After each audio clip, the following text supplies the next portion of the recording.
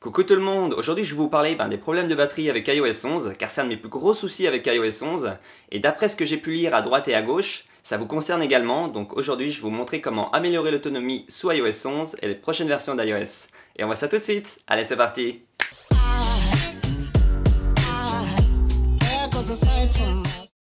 Commencez d'abord par désactiver le réglage automatique de la luminosité en vous rendant dans Réglages, Général, Accessibilité, puis dans Adapter l'affichage. Là, vous désactivez la luminosité automatique. Comme ça, bah, ça évitera que ça se règle automatiquement et vous pourrez le faire manuellement dans le centre de contrôle. Vous pouvez également activer en dessous Réduire le point blanc. Ça permet en fait bah, d'assombrir les couleurs vives dans iOS et de baisser encore plus la luminosité de l'écran jusqu'à obtenir bah, quasiment du noir complet. Un autre réglage important qui va vous aider à économiser de la batterie, c'est le verrouillage automatique de l'écran et du smartphone. Pour ça, allez dans luminosité et affichage et réglez le verrouillage automatique entre 30 secondes et 1 minute pour que votre téléphone bah, se verrouille automatiquement avec l'écran s'éteigne quand vous ne l'utilisez pas. Dans Général et Actualisation en arrière-plan, vous pouvez désactiver toutes les apps pour éviter qu'elles se rafraîchissent quand elles sont en arrière-plan, ou alors juste celles dont vous n'avez pas besoin bah, qu'elles rafraîchissent le contenu, et ça en fait ça va économiser un petit peu de batterie. Et si vous voulez que certaines apps s'actualisent en arrière-plan, préférez plutôt la transmission des données en Wi-Fi plutôt qu'en cellulaire parce que ça consomme plus de batterie. Dans le centre de contrôle, quand vous n'utilisez pas AirDrop, ben, vous pouvez le désactiver, ce qui va économiser un petit peu de batterie aussi. Pareil, désactivez aussi le Wi-Fi et le Bluetooth si vous ne l'utilisez pas. Mais comme en fait il s'agit d'une désactivation partielle du Wi-Fi et du Bluetooth, il faut se rendre en fait dans Réglages et là allez sur la, bah, sur la page du Wi-Fi et désactivez-le bah, complètement. Euh, faites également bah, la même chose pour le Bluetooth. Comme ça, ça évitera que le Wi-Fi et le Bluetooth effectuent un scan en arrière-plan et consomment de la batterie pour rien. Maintenant, dans Réglages, photos et données cellulaires, sur cette page, vous allez désactiver les données cellulaires pour éviter que l'iPhone utilise la 4G pour mettre à jour votre bibliothèque photo. À la place, ça utilisera le Wi-Fi quand votre appareil il est connecté à un réseau Wi-Fi. Maintenant, vous allez désactiver les appels Wi-Fi sur cet iPhone en vous rendant bah, dans Réglages, données cellulaires et en décochant l'option Appel Wi-Fi sur cet iPhone, ça va éviter bah, que l'appareil consomme de l'énergie, en particulier lorsqu'il est connecté à un mauvais réseau Wi-Fi ou bien qu'il essaye de se connecter à un réseau Wi-Fi. Toujours sur la même page, tout en bas, vous allez désactiver assistance Wi-Fi parce qu'en fait ça va bah, sucer de la batterie quand vous êtes sur un mauvais réseau Wi-Fi et votre iPhone bah, va compenser en basculant sur la 4G. Et au passage, juste en dessous, bah, désactiver iCloud Drive pour éviter que le transfert des documents et données ne s'effectue en 4G vers iCloud puisque la 4G c'est ce qui consomme le plus de la batterie. Désactivez maintenant toutes les notifications pour les apps dont vous n'avez pas besoin ou que vous n'utilisez pas car les notifications inutiles vont consommer l'énergie, mais également bah, allumer votre écran. Stop Tout ce que je vous ai dit, ça sert à rien si vous rechargez mal votre smartphone, car ça va flinguer la capacité de la batterie et donc également réduire bah, l'autonomie de votre appareil. Donc je vous recommande de suivre les conseils que j'ai prodigués dans une autre vidéo qui devrait apparaître en haut.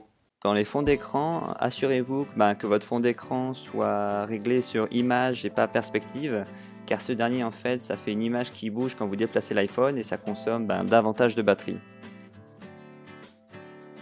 Maintenant rendez-vous dans Réglages et Série et Recherche et dans cette section en fait vous allez désactiver ben, toutes les apps dont vous n'avez pas besoin que Siri aille faire des recherches dedans et en fait ça évitera que Siri consomme inutilement de la batterie en recherchant dans toutes les apps que vous avez sur votre iPhone. Ensuite, allez dans Réglages général accessibilité puis sur réduire les animations, vous allez activer ben, cette fonctionnalité, réduire les animations.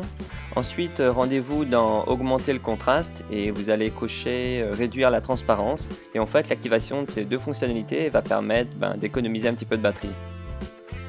Toujours sur la page d'accessibilité un petit peu plus en bas, vous pouvez également ben, désactiver les vibrations si vous n'aimez pas trop les vibrations.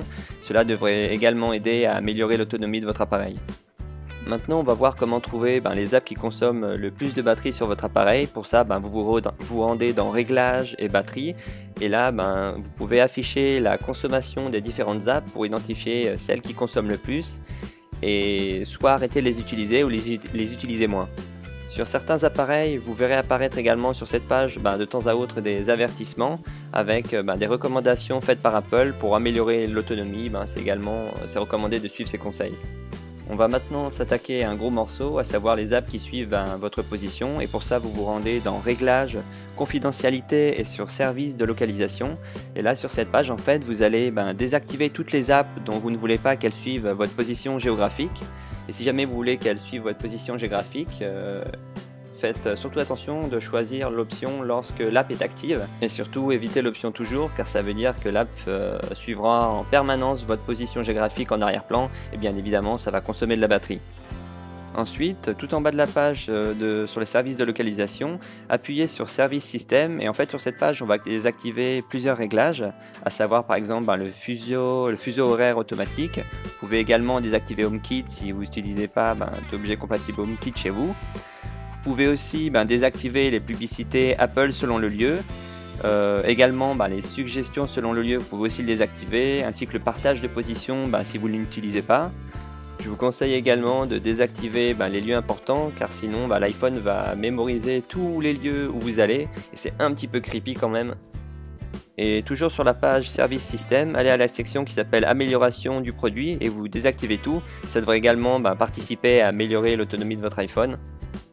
Ensuite, rendez-vous dans Réglages, Confidentialité et Mouvement et Forme. Et là, vous allez désactiver Suivi Forme afin que bah, votre iPhone ne suive pas combien de pas vous avez effectué dans la journée. Et en particulier, si vous avez soit ça ne vous intéresse pas, ou vous avez peut-être déjà une Apple Watch ou un tracker d'activité qui s'occupe de suivre vos pas. Retournez sur la page confidentialité et tout en bas, bah, appuyez sur analyse. Et là, vous allez euh, désactiver, partager l'analyse iPhone plus Watch et également euh, désactiver l'option partager l'analyse iCloud. Maintenant sur la page confidentialité, euh, rendez-vous dans publicité et là bah, vous pouvez activer l'option suivi publicitaire limité afin que bah, les applications ne suivent plus vos activités en ligne.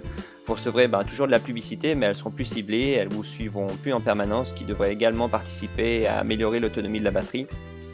Rendez-vous ensuite dans la partie iTunes Store et App Store. Et là, en fait, vous allez désactiver tous les téléchargements automatiques parce que ça consomme vraiment pas mal de batterie. Il vaut mieux attendre d'être chez soi pour télécharger les apps manuellement quand vous avez accès ben, à un chargeur pour recharger votre iPhone. En ce qui concerne la lecture automatique des vidéos, préférez plutôt le réglage Wi-Fi pour éviter ben, la lecture des vidéos App Store avec la 4G parce que ça suce pas mal la batterie. En bas de la page iTunes Store et App Store, ben, désactivez l'option désinstaller les apps inutilisées parce que en fait ce processus il va effacer automatiquement les applications que vous n'utilisez pas ben, tout en conservant les données mais comment ce processus va quand il se déclenche ben, il consomme quand même pas mal de batterie. Vous pouvez également désactiver la fonctionnalité end-off si vous ne l'utilisez pas. Euh, pour rappel, cette fonctionnalité permet de, de, commencer une tâche sur un appareil connecté à iCloud et de continuer sur un autre appareil avec le même identifiant on va dire que c'est particulièrement pratique si vous avez euh, plusieurs appareils Apple sur le même identifiant iCloud comme un Mac, un iPad et un iPhone. Enfin, n'oubliez pas de régulièrement mettre à jour bah, votre, euh, votre, iPhone, même s'il est déjà passé sur iOS 11, car il devrait y avoir des correctifs qui devraient quand même euh, aider à améliorer l'autonomie de l'iPhone. N'hésite pas à liker et à partager cette vidéo avec tous tes potes et tes proches qui ont une machine sous iOS 11, et abonne-toi pour le aucune des prochaines vidéos. Allez, ciao